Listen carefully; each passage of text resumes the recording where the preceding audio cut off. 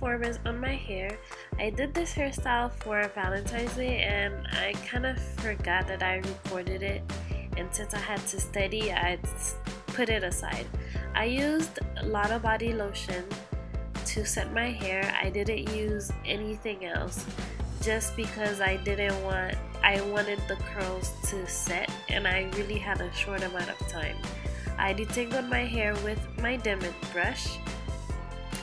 I twisted the root so that I can ensure that all of my hair go inside of the Curlformer otherwise is I would have to re take it out and redo it. will get stuck inside of it.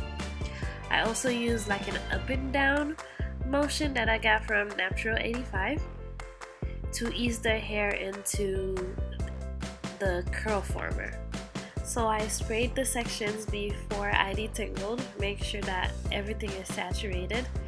And I used the Denman brush just to get it really stretched so that my hair wasn't fuzzy or some of the hair wouldn't stick out or anything like that. I wanted it really slick.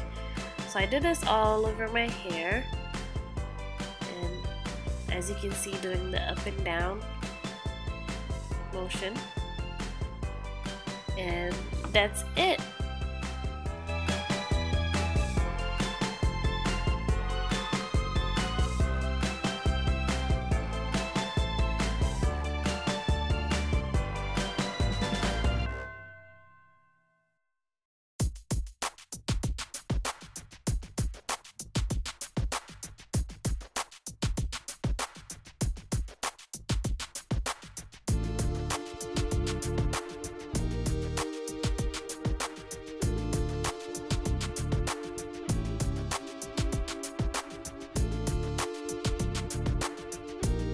the last section before I go under the dryer.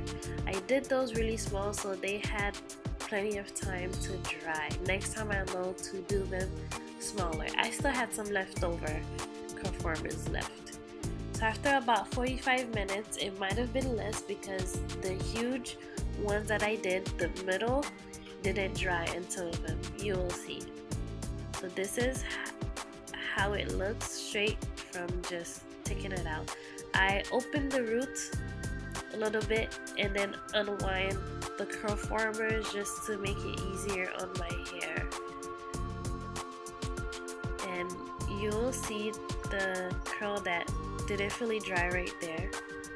But I I mean I didn't mind because most of my hair was dry and I was happy with the way it looked under such short time. And that is it. That was my hairstyle for Valentine's Day.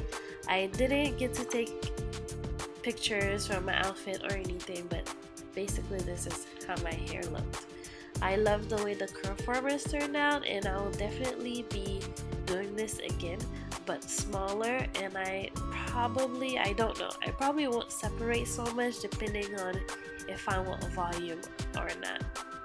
So thank you guys for watching and I'll see you in my next video. Bye!